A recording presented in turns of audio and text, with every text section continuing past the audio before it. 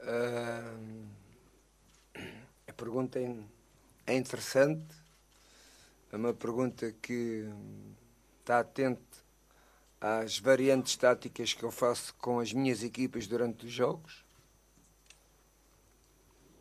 É isso que eu estou a tentar implantar uh, na equipa do Fenerbahçe. Durante o jogo mudarmos uh, algumas vezes uh, o posicionamento dos jogadores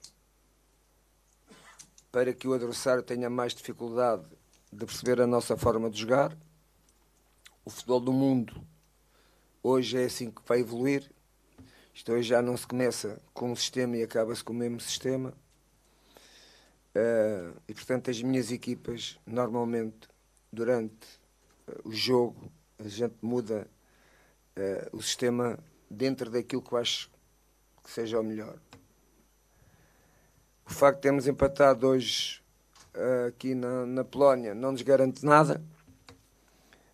esta equipa do Dinamo Kiev tem todas as condições para chegar à Turquia e ao, no, no nosso estádio ganhar como hoje nós podíamos ter feito aqui na Polónia.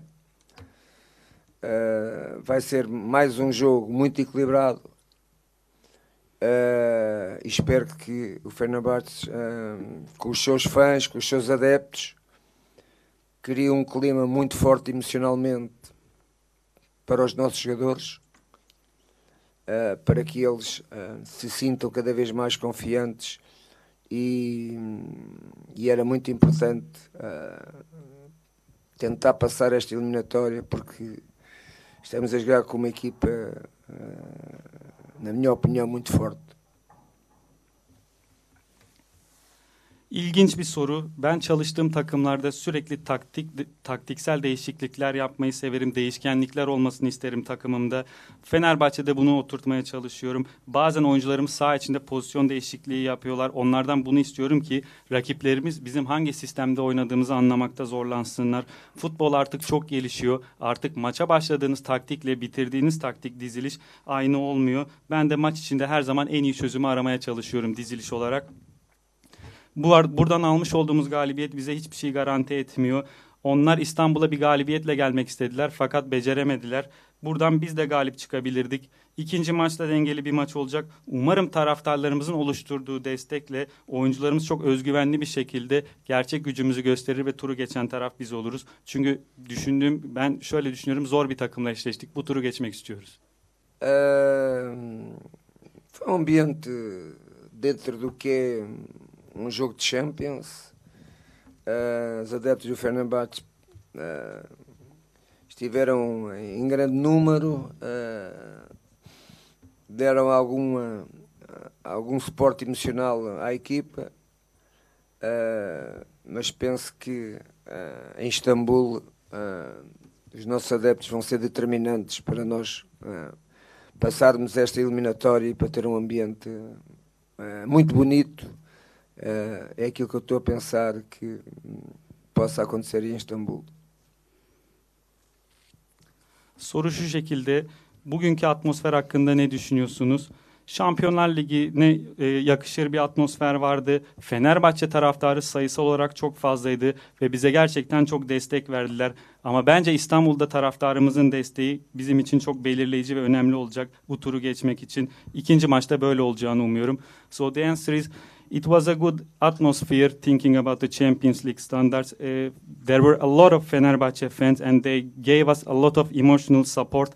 I think in Istanbul the support of our fans will be determinant for us and there will be a beautiful atmosphere. This is what I'm expecting. Uh, gosto muito de falar sobre sobre os árbitros. Uh, penso que uma Champions uh, Uh, seja em que, em que momento é que seja das eliminatórias, devia de haver VAR. Uh, quanto ao árbitro, não teve influência nenhuma no resultado, uh, teve a altura do jogo, tecnicamente teve bem, disciplinarmente, na minha opinião, também teve bem. Não há nada que, que possa apontar ao árbitro, e mesmo que houvesse, também não faria. A mim compete-me uh, analisar o adversário e a minha equipa, é isso uh, que eu quero fazer e é isso que eu quero também comunicar com vocês. Maçın rakip takım hocası ma maçın hakemi hakkında birazcık eleştirilerde bulundu. Siz maçın hakeminin performansı hakkında ne düşünüyorsunuz? Ben hakemler hakkında konuşmayı pek fazla sevmiyorum. Bence Şampiyonlar Ligi'nin eleme aşamasında da var olmalı. Ama hakemin sonuca çok fazla etki ettiğini düşünmüyorum. Bence bu maçın seviyesinde bir performans sergiledi. Teknik ve disiplin anlamında iyiydi. Ben hakemi analiz etmekten ziyade kendi takımımı e, analiz etmeyi tercih ediyorum. I don't like to talk about the referees. I think uh, he was uh, in Champions League standards, uh, but I think in eliminatory phase there should be war. But I don't think that he had influence on the result. I think he had the level of the game technically and discipline. In terms of discipline, he was good. But I want to analyze my team, not the performance of the referee.